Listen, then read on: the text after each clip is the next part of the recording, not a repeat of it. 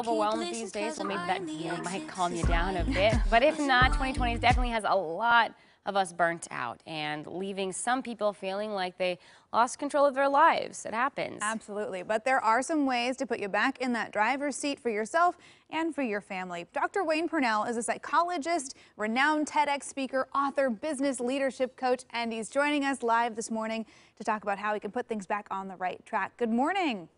Good morning. We feel like we've lost so much, and yet, you know what? We have more control than we thought. Oh my gosh, I feel like I go through, it's a roller coaster right now, right? Mm -hmm. I have days that are normal and I'm good and everything's fine. And then the next day is just a pandemic day. And it's, you just, you feel like it's just, you know, never going to be the same again. So, uh, well, first off, I guess, do you think that us feeling like this, this roller coaster, is that kind of our new normal? Is that what everyone's going through? You know, I, I am worried about the word new normal, the phrase. It's like, is this the new normal? Is that the new normal? Really, the new normal is what happens every single day. And, uh, you know, you called it a roller coaster. I call it the COVID coaster. Yeah. That is that is normal right now because we've been told, oh, it's lightening up. Nope, just kidding. Oh, yeah. stay in place. Oh, just kidding. Google just said that their remote workers are going to be staying at home through uh, the next year, right into the summer of 2021. Oh my gosh. So right we're we're seeing things shift daily. And so the biggest thing that we can remember is that we are resilient. We've each been through hard times before. And the hardest part about this is that we're trying to get through hard times every single day. Uh, just remember you've done it you've done it. This is this is something you've been through, except it's not like none of us have been through a pandemic, but we've been through uncertainty. So now it's time to just realize you've got courage, you've got resilience, right? And the other thing, if I can just say, we've got things that we're actually finding we like. Yeah. my commute my commute has shortened to about 30 seconds right there, there, there are things in our worlds that we've actually found out that we like and the the trick to gaining control over your life is to do more of that truly do more of that focus on those things we like here mm -hmm. yeah. yeah.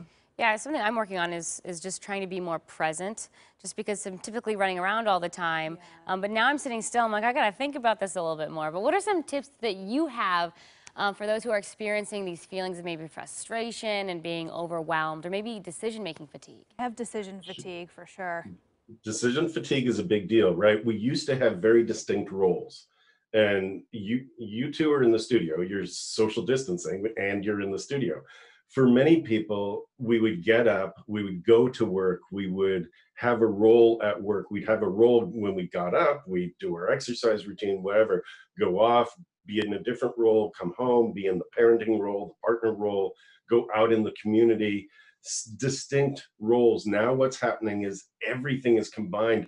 And that's what's creating this sense of burnout is, do I work? Do I attend to the house? Do I eat? Do I, right? Mm -hmm. So, so really it's about putting a little bit more structure back in your day, understand the things that you like to do, focus on those, give yourself the opportunity to, um, to, to really uh, create time during your day and during your week for those things. Like we are working now 11 to 14 hours a day online.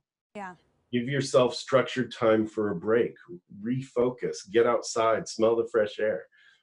Yeah, I think that little sched that scheduling is, is so important. Just that little bit of pre-planning, you know, can be so helpful to, to really kind of setting those roles within your day. Uh, mm-hmm. you know, we mentioned riding the COVID coaster with things being open, now they're closed, now they're open, now they're closed.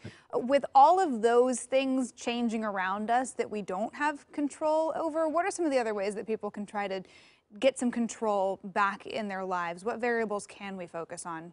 Yeah, I think the biggest thing is to is to get perspective, right? No one woke up and said, uh, "Let's mess with your life today." No one's doing that, right? It's like it's like this is a pandemic, which means it's around the world. It's not a political thing. It's not the United States. It's not right. It's it's just not. It is a pandemic that we're all trying to understand. And so everybody's a little on edge because everybody feels like we've had something taken away.